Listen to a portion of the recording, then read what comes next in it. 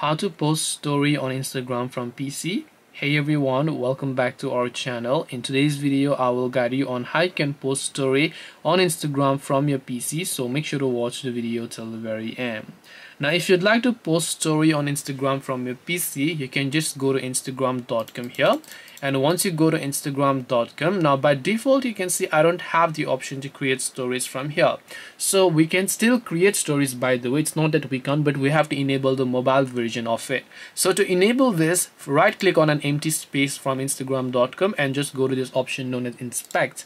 Once you go to inspect on here you'll see elements and so on but beside elements you'll find this little icon which is this mobile and computer like icon. So just click on that icon here as you do that on the left hand side, the dimensions would have been set to responsive by default. So you have to simply switch this to any of the device that you prefer. In this case, I'm selecting iPhone 12 Pro.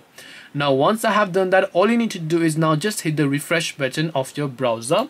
Once you hit the refresh button of your browser, now you should be able to see this. And now you'll find the Your Story tab as well, which you can simply use to click on it. Select a story that you would like to upload here. And then after you have done that, you should be able to upload a story and then add this to your story if you'd like.